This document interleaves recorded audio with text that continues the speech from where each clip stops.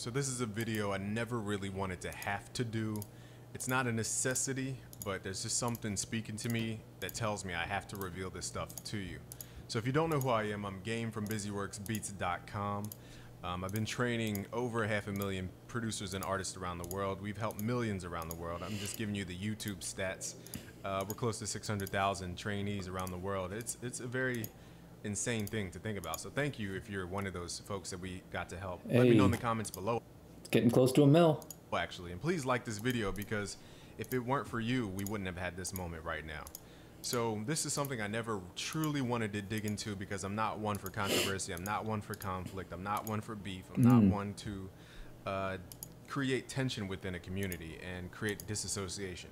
But today I want to reveal the 10 secrets that these producers. Bro, he reminds me a lot of Simba. Like him and Simba have the same energy, bro. Same energy right here. Him and Simba. I already showed like earlier what the deal was with Simba, but literally the same shit. They talk the same way. Producers are gonna hate me for revealing, but I feel like you need to know so that we can all move forward as a culture. Okay, so I have them written down so I don't lose track. Um, but these are 10 things I really thought about and said, what is it that producers don't want me to reveal? I'm talking about top producers. Now, just a quick little list of what I'm up to. I've been working with billion dollar company Razer. Okay, they're a laptop company, gaming laptop company. I'm on Razer Synapse right now. like, company. I've been on that label for two years, which is longer than, uh, you know, I think, if not the longest person on their campaigns.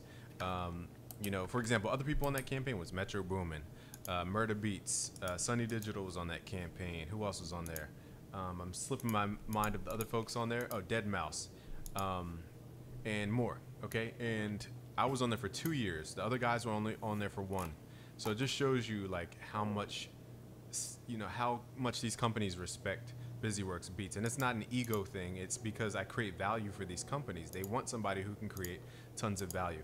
Long story short, we work with a billion dollar company Razer. We work with the top companies in the audio community. I'm talking about like iZotope. I just happen to be wearing the shirt. This is not product placement. I just wore the shirt because I didn't want to wear a gym shirt outside earlier when I went to go see somebody. Um, but we work with iZotope. We work with Arturia, Native Instruments, Universal Audio. Um, who else? Sweetwater. Whoa, that's hella Image people. Line. Um, all the top guys we've worked with because we want to. Image Line is FL Studio, and Sweetwater and, and Universal Audio, and they, they all make interfaces. They all make hardware. Associate with the the best of the best. We don't want to just randomly work with random companies. But I say that to say this: is that I have a lot of insight about the music industry, where it's going, and the key players. I've been around Grammy producers. I've been around Grammy-winning songwriters, Grammy-winning producers, platinum plaque-winning uh, producers. I've seen their process from start to finish. And I, here's the secrets, okay? Without further ado, so please like the video so you can give me some the secrets. Let's hear it. Some energy and some air to my oxygen to my lungs, so I can spit through these ten. And I'll try to edit edit this video to chop it down as much as I can. So the first secret they really do not want you to know, and they'll probably hate me for revealing this, is that you don't need thousands of plugins. Now this seems obvious to the person without a lot of money to even buy plugins. I said that earlier. But for somebody like me, I've spent tens of thousands of dollars on plugins just because I thought, oh, maybe this next thing has the greatest thing in it, or this next plugin will teach me how to do whatever. I've gone through the trial and error, and I can tell you I use about 10 to 20 plugins max, maybe if I had to count, I'd say 10 to 20 max. I don't use any more than 10 to 20, and I have I have hundreds of plugins. I have near a thousand, if not a thousand. I have 800 last time I remember counting, near a thousand. You don't need thousands of plugins. Now I'm saying this because we get caught up in this culture of trying to always get the new whatever, and that's cool. You, one thing I will say is that when you get new plugins and new ways of doing thing, it, things, it inspires you. That's one hidden moment of inspiration. If you're looking for inspiration, get some new plugins. It will just help you feel like you're onto something new. It's going to change your mindset. But you don't need a thousand of those plugins. So I want you to reinvest your money a little bit differently so you can grow a lot faster instead of not throwing it down the drain with plugins, but you just don't need a ton of plugins. I don't want you to get stifled thinking that you have to have all this stuff to get started. Now the second secret here that they probably really don't they this is something they really really really do not want you to understand is that they use the Fruity Soft Clipper as their secret sauce for the drums. Now I have a whole video on the uh, video on this below. I'll be sure to link the video, but maybe I'll edit in like a clip of they use the Fruity Soft Clipper Fruity Soft Clipper. As their secret sauce for the drum. Now I have a whole video on the uh, video on this below. I'll be sure to link the video, but maybe I'll edit in like a clip of me explaining what this is, and uh, I'll let this be the area where it magically pops up. Um, hopefully I remember to edit that point. But the Fruity Soft Clipper. You forgot. Uh, okay.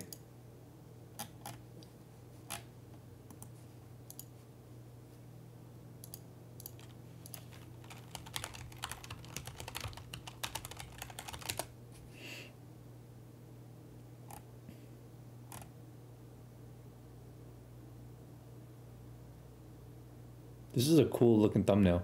I mean, colors wise, colors wise.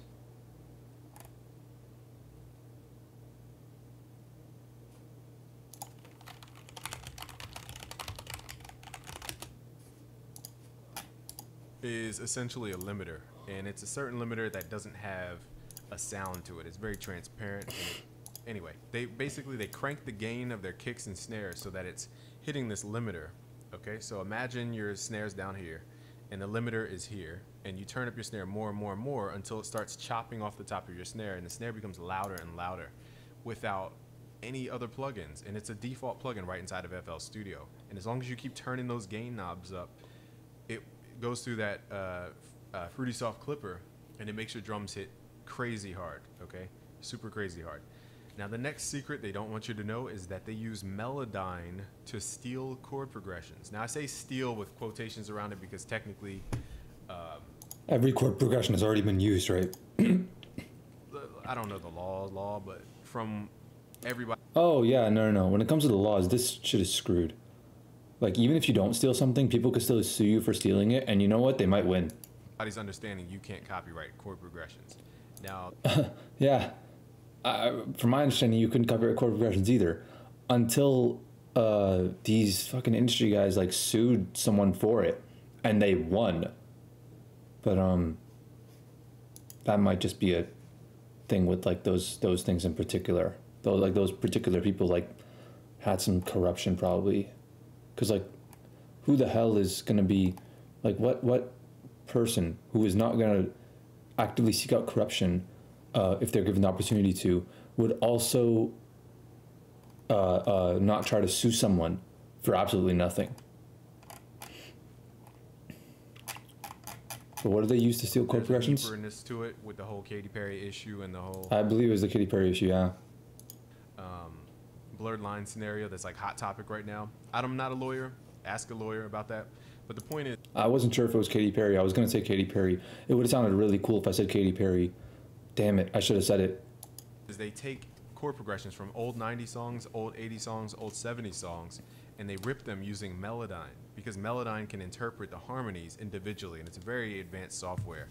Um, and basically, they just they take all that MIDI and they put it into the piano roll, and they take out the notes that are wrong or that they don't like. They change the timing of the notes, and boom, they have a chord progression to build their new pop song on. That's they take all that MIDI and they put it into the piano roll, and they take out the notes that are wrong or that they don't like. They change the timing of the notes, and boom, they have a chord progression to build their new pop song on. Really? That's really how these pros are doing it. They're not, you know, going through all these motions to get that result. They're Let's develop a list. Let's develop a list.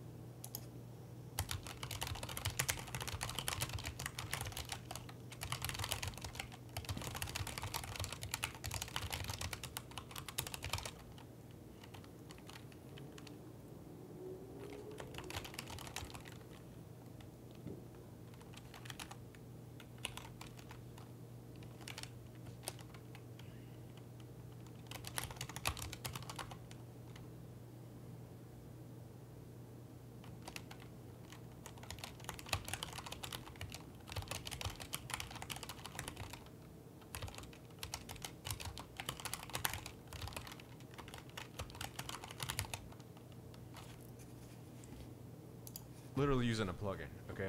And we went over how people take vocals from tracks in our iZotope video a while ago. Now here's another secret that the, the pros probably really don't want me to tell you because this kind of shatters the the glory around being a music producer. The pros use loops. He's got AG600s. Dude, I was with uh, I was with FaZe yesterday, and I was like, "Yo, I'm trying to come up with these melodies, but I'm having such a hard time. I can, I'm like just going for the strategy of like sim- very simple melodies, and uh, not much else to it." And he's like, "Bro, just use loops." And I'm like, "That is a great idea." I'm writing that down. Use loops. That's so easy. Now that's a smart concept to the pro because the pro is trying to eliminate time, is trying to eliminate frustration, is trying to eliminate guessing. Alright, I'm back. Okay, yeah. So he was telling me um, to use loops. And uh, it's actually like such a simple. Like, in the beginning, we were using loops and we're like, nah, this ain't even like real music. And then we're like, no more, no more using loops. So Pharrell hasn't used loops since like 2014 or something like that, you know, 2013, 2014, around that time. That's when he stopped using loops basically. Um, however, if you like want to save time, oh wait, no, what did he say? He said something. I was saying something. Use loops. Okay, now that's a smart concept to the pro because the pro is trying to eliminate time. Time. He's trying to eliminate frustration. Frustration. Trying to eliminate guessing. Yeah, guessing is the is a catalyst of creativity. Guessing is throwing stuff at the wall and seeing what sticks. Now, if you want to eliminate guessing, then the shit producer, you know, who um who doesn't care about music, will go like, I want to eliminate guessing. But if you're a good musician, you want to guess. But you know, you don't need to be a good musician to make it in the industry. Um, frustration.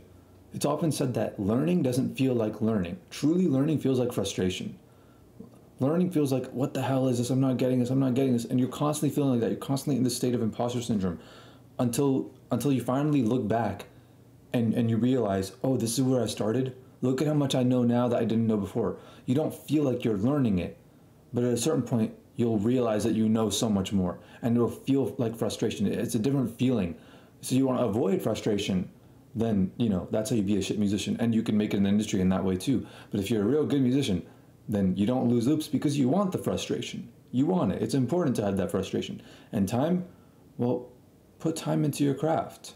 Get better. But of course, you know, if you're trying to just make a quick buck, then time is your enemy. Because when you're in a studio with a high level artist and they they want you to make beats from scratch, you can't be sitting there trying to figure out which snare goes with the kick, which Yeah, yeah, but when we're in the studio with like real musicians, we're there meticulously spending hours and hours just like, oh, this one sounds good. Oh no, wait, what about this one? Oh, oh, this one sounds good. This one sounds good, and then we just keep playing it and playing it and playing it for hours. That's the best part of making music. Um, but if your goal is the money, then don't do this. But if your goal is like the music and you truly love music, then this is like the whole purpose of making. Like the enjoyable part is the process of making music. you know bell you're going to use. You can't sit there for 30 minutes wasting studio time. 30 minutes. Studio time. Dude, 30 minutes is how long it takes for us to finally nail down one instrument out of like a track of 40 instruments.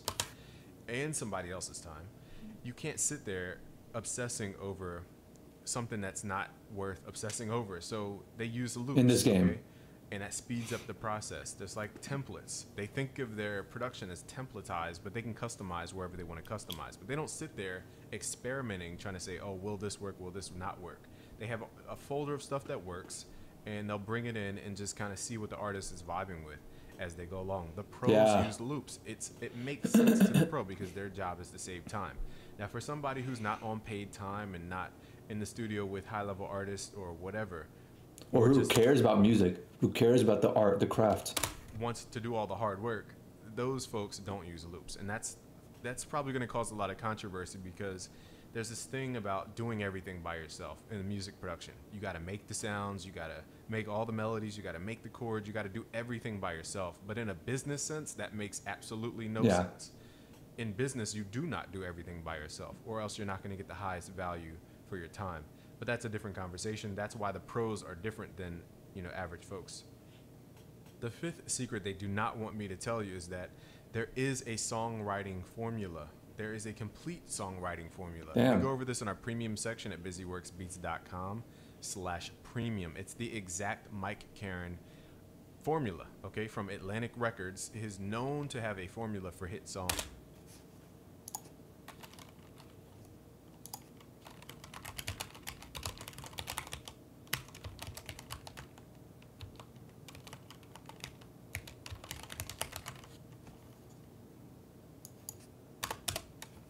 Let's see what it is. and I break it down. And we use examples from certain hit songs and reveal all the parameters that make that song a hit song. And once you know this stuff, you learn it once and you can apply it to anything. It's extremely powerful. And uh, there is a songwriting formula. Just understand there's there's ways to go about this. Just like in music production, there's a songwriting process. You don't just randomly grab a keyboard and just start making a song. That's what we do. You know, when we're actually when we care about music. It's crazy to me. I'm not even a musician, but I care more about music than these people who are actually considered musicians. You know, there's a step-by-step process. Just like there's a step-by-step process at McDonald's. Damn. I look so much bigger than I used to. Like, that's crazy. to make a hamburger. There's first, I don't know the process. I'm just guessing. First, take the stuff out the freezer. I'm assuming uh, that might be a shot to them. I, I forget, I should say. They got to get the bun at some point. Thing. They, same thing goes with music and music production. There's a step-by-step way of creating a song. If you want a song to be your end result, end result every single time, and your end goal, there's a step-by-step process, and you have to learn that process if you want to get to that end point.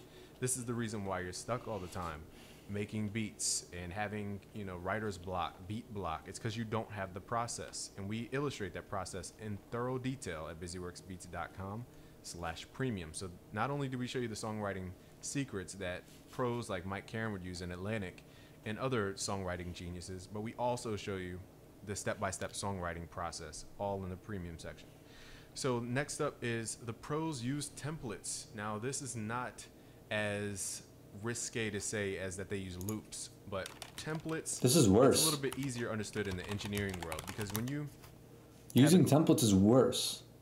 But artists come in and you don't know who the artist is and you don't know their style, you have to have at least a bare standard for something that they can enjoy. Now, engineers will understand this a little bit more, and let me know in the comments if you're an engineer because I respect engineers because they just have to deal with so many subjective perspectives.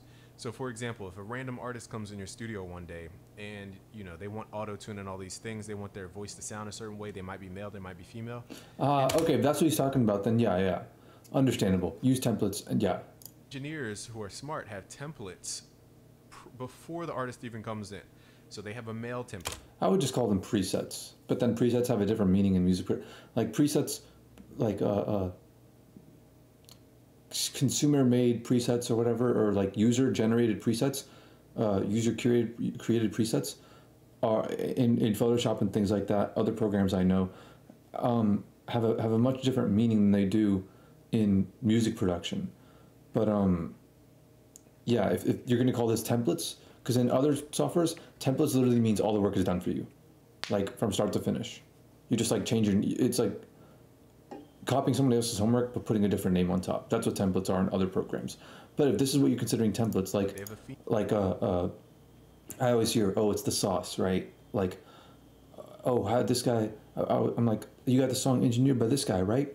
And and he's like, he's like, yeah, yeah. I'm like, why are you not organized with your files? Where's the file? He's like, he has it on his computer, and I'm like, get it. And he's like, I have the original. He has the project file, the the mastered version, the mixed and mastered version, and I'm like, well, get that file. And he's like, no, no, no. He won't. There's no way he'd give it to me because he doesn't want to give away the sauce because he knows if I have the file, I'm going to look in there and see, you know, the way he's set up all his effects and things like that. He doesn't want to give that secret away.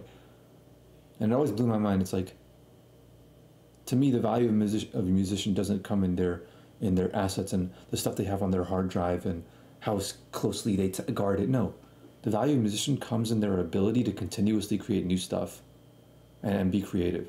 If you're truly a good musician, you should be able to innovate faster than people can copy you. email template. They have a hip hop template. They have an R&B template because all those templates have to have different things change. Like R&B might not have as much auto tune because it'll make the vocal sound fake, whereas hip hop would have a lot of auto tune. And you know, there's a billion different things they could change about it. But the main thing is that when you're recording to, into a, a DAW of your choice, you naturally want to hear like effects on your voice, like reverb, auto tune, delay. Those things make you more animated while you're singing. So you get to hear back the effects of your voice. And that's something that engineers set up most of the time ahead of the time if they templatize. So using templates is key. And this also stems to music producers who use templates. I know top music producers that we've helped with our templates from the Ultimate Producer Bundle. In the Ultimate Producer Bundle, you have templates. And this is the same exact thing, except this template I'm gonna go on this thing and download some of those. And it's not Right only here. gives you the mixing presets and mixing templates, but it also gives you the sound templates, the sounds that work together, the songwriting structures that work. You know, we have the all the plugins arranged, everything is properly routed, so it's pre-made for you, and you can customize anything you want. That's the power of a template. Why waste a bunch of time trying to figure out what works with what? You know, you're going to be experimenting for days and days and days. It's unnecessary. It's just like science experiments. That's why they call it the lab. We're literally experimenting if we do not use templates. Now, the next secret here experiment, yeah. is that the pros use analog sounds. And when I say analog, I mean, generally speaking, hardware sounds, okay? And with hardware, it's a lot different. Um, see, not just hardware, because analog, you can have hardware digital sounds. I don't want to get into the whole science of it. The point is, analog sound is more rich, in my opinion. You could feel it more like in the center of your head. It has a depth that other digital plugins and synthesizers don't have. And analog just, you could feel it, okay? And the reason I'm telling you that is because they may be doing videos online showing you that they use Omnisphere, for example, or Nexus, or what's another plugin people love that's a digital synth. Um, what else is a plugin? Somebody help me in the comments below. I'm going blank. It's crazy how he mentioned those two particularly. But XYZ plugin, they'll show you that plugin, and chances are the plugin has a digital sound. Let's say, uh, yeah. So I'm not here to throw shots, but let's say it's whatever plugin it is, it has a digital sound to it. And they're showing you the digital stuff, but they're not showing you the real depth to their sound comes from analog hardware. Like behind me, I have a Prophet 08 from Dave Smith Instruments. I have the Moog up there. I don't know if you can see it, but chances are you Moog. I have to my right another Prophet 6. You can't see it, it's off cam. Okay, so the sounds from these synthesizers are way more in depth than anything digital. Way more in depth. Um, another thing is that you have to understand is that the pros use expensive microphones. Now, I was watching a video which was kind of hilarious on the uh, SSL, um, what is it? SSL six, uh, little small mixing console, a mix mixer. I forget the exact. Alright, I just downloaded me, these. but the SSL new mix mixer that came out. Now, somebody made in the comments, they were like, "Oh, you know, casually using a Sony C800 mic, and that mic costs eight thousand dollars." Okay, and they're in a studio that has acoustically treated walls. Chances are your room is like my room. You don't have a bunch of stuff on the walls. Chances are, you know, you're not using a eight thousand dollar microphone. You're using a four hundred dollar Shure SM7B microphone. So with that difference, you're hearing that quality that you hear on a Young Thug album, or who else just came out? Chris Brown, or uh, who else just popped up with it? Drake. Okay, that's the quality they get because they spend the money and invested in that. And it's a dramatic difference than me just speaking on the Shure SM7B in an untreated room with my door open where you can hear my hallway. Okay, now when you're in a treated environment with acoustic treatment and high, very expensive microphones, and you have all the electricity stuff that engineers know who build studios that gets rid of all the buzz and everything, of course your vocals are going to sound crisp without any plugins because all that stuff, people spent tens of thousands of dollars getting that quality. Now I want I'm saying this because the pros don't want you to understand that there's a huge difference and you can only max out your potential on the computer to a certain degree. Your mix can only go to about 70%. And that extra 30% that you hear on Drake's album, Chris Brown's album, whoever's album that's super crisp, that's because they have all those hundreds of thousands of dollars worth of equipment and signal flow and all this type of stuff. You just can't get that at home. And I'm not going to sit here and lie to you anymore. And I'm not that I was lying to you in the first place, but I mean, as far as on behalf of the producer community, I can't sit here and let people lie to you, saying that you can get the most crisp of crisp of mixes in your home studio. That's not possible in the realm of your perspective of what a crisp, crisp mix is. I'm not saying it's impossible. I'm not saying that putting up uh, acoustic treatment on your walls won't help. I'm not saying that your microphone can do a decent job. I'm saying when you have all these high level things, you don't need an EQ. You don't need a compressor when you have all that stuff that sounds perfect from the gate. And I've experienced it. I've been to a studio, a million dollar facility, and I've heard the difference. It's light years different. And that's what I'm trying to illustrate in this point. It's, it's a long point, but it's something you need to understand is that the quality difference, you can only get but so much on a computer. I don't want you wasting tons and tons of dollars on plugins that will never get you that analog hardware, you know, a very expensive microphone sound. I just don't want you wasting your money on crap that will never fix the computer problem, okay? Um, next up is that a lot of producers who will hate me for saying this, they recycle drums from old drum machines. Like the majority of the drums you love, not the majority, because some are new, some have new characteristics, but the majority of the drums you love come from old drum machines, Got just it. edited in a different way. Now I do respect producers who edit, mix, and try to change the sound, but a lot of folks just copy and paste the sound from old drum machines and call it call it a day. Now that's fine as far as curating sound. I get that too. I'm not here to bash anybody with a drum kit. I'm saying that the majority of those sounds come from the retro drum machines, whether you knew it or not. Now, that's all I'm going to say on that. But we can get into the debate. But I do respect designers who take a sound, they EQ it, they make the kick thumpier because a lot of kicks in those drum machines are not thumpy. They're just like boom, boom, you know. But producers nowadays not a mix, so they make it go boom. You know, it's a lot different. You're changing the kick. So I do respect producers who understand that. But I just want to show you that a lot of the drum sounds come from those old retro drum machines. That's all I'm here to really illustrate. I'm not here to bash anybody's business because I respect everybody. And lastly, I want to say that I respect people who curate just as much as people who, excuse me, delve into pure design from the ground up. Curation is a skill as well. Right? So the ninth secret here is that engineers do most of the work that all the pro producers like take credit for. Like if you watch a lot of pro producers, they can't even explain half the stuff because one, they don't know. it. Yeah, yeah, yeah. Two, they hire pro mixing engineers to mix their tracks. So it takes it from There's the great importance in having skills in your skill set. And if you're a producer, you should know how to engineer.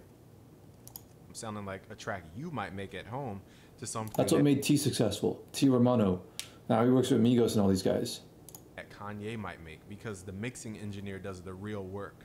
And I don't mean real as in to belittle the idea of the concept of the song. I mean the reason the 808 hits so hard is because the mixing engineer. The reason the drums sound so separated and sound sound separated is the in- mixing engineer. Like it could have been a jumbled mess before. You just don't know because they weren't the person to have the final hand on the record most of the time. And the engineer deserves a lot more credit because producers are getting all the shine right now, which is great, and I think it, they should get more credit, uh, or shine, I should say. And engineers are starting to get more shine as well. And just understand the power of an engineer can literally transform a whole entire song to make it sound way harder. And I've shown you, hopefully, on this channel how we remixed one of our tracks uh, somebody else made and made it sound harder. Oh wait, this guy's responding to me on Discord.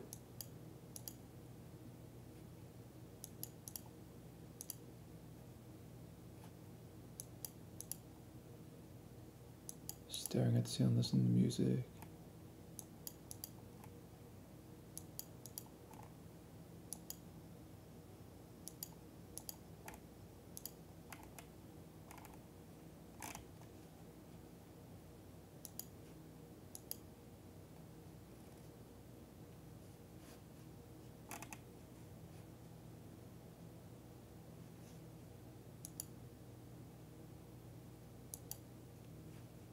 And Alright. yeah, the engineers do most of the work. So that's all I gotta say. I'm not gonna harp on that one. That's something that you probably didn't understand though. And here's the last one. Is the last secret that these producers will really hate me for saying is that they really don't know their craft. Now this is sounds like I'm bashing and blasphemy to the gods of music production, but what I'm saying is that your top favorite producers probably don't know everything about music theory, mixing, sound design, uh, arrangement, sound sourcing. Uh, they don't know all this stuff. And that's not a good or a bad thing because at their level of competency, there's four levels of competency. I'll keep it short. There's unconscious incompetence, which means that you don't know that you don't know. There's conscious we bashing All right, cool, cool, cool.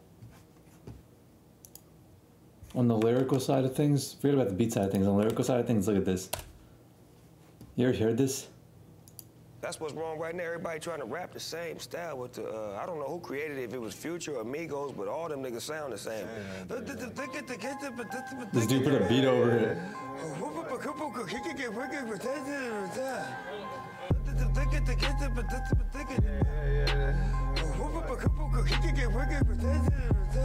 If anything, this speaks more to the volume on like how generic and basic beats are that you could just put them over anything and it all sounds like music that's made today. That's hella drums. Way too many, bro. Way too many. Relax. It's not that serious.